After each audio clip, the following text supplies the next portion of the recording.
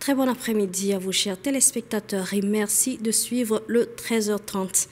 À l'entame de ce flash d'informations, sachez que le ministre de la Formation professionnelle des métiers et de la microfinance, Ousmane Moussa Mohamed, a reçu ce matin en audience l'ambassadeur de la République fédérale d'Allemagne au Tchad, Dr Gordon Crick. Une demi-heure d'horloge environ a été nécessaire pour les deux personnalités de parcourir plusieurs sujets d'intérêt commun, notamment la question de la formation professionnelle. Les deux personnalités se sont félicitées de la bonne coopération qu'entretient Berlin et N'Djamena, surtout dans le domaine de la formation professionnelle.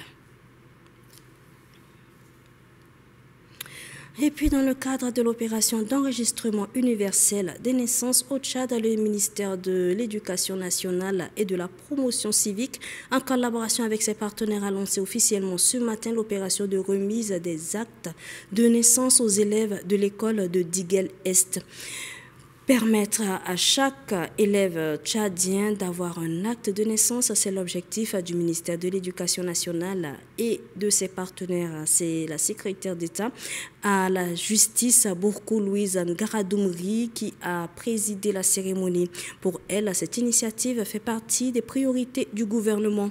Les représentants des différents partenaires du ministère de l'Éducation nationale se sont relayés pour saluer cette initiative tout en réitérant l'engagement de leur institution à accompagner le gouvernement tchadien.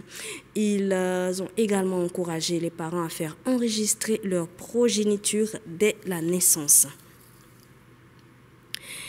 Il s'est tenu hier soir au ministère des Affaires étrangères la cérémonie de remise de parchemin aux lauréats du Centre de formation professionnelle et de perfectionnement, de, la CCIAMA en tant des chambres de commerce, d'industrie, d'agriculture, des mines et d'artisanat. Il s'agit des lauréats de la 15e promotion.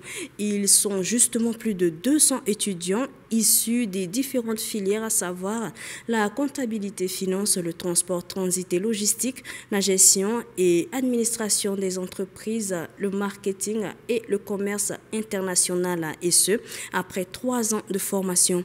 La cérémonie s'est déroulée en présence des responsables de la Chambre de commerce, des parents d'élèves et de plusieurs autres invités. Et enfin, sachez que le Centre national de recherche pour le développement en collaboration avec l'ambassade de France au Tchad et l'association des femmes enseignantes et chercheurs du supérieur a ouvert un atelier ce matin au sein du ministère de l'enseignement supérieur, de la recherche scientifique et de l'innovation. Un atelier qui porte sur la question du genre dans l'enseignement supérieur au Tchad. C'est le secrétaire général du dit ministère, Renaudi Frédéric, qui a ouvert les travaux en présence de la représentante de l'Institut de recherche pour le développement au Tchad, Sylvestre Florence. Et voilà, chers téléspectateurs, c'est tout pour ce flash d'information. Merci pour votre aimable attention et très bonne suite de programme sur Téléchad.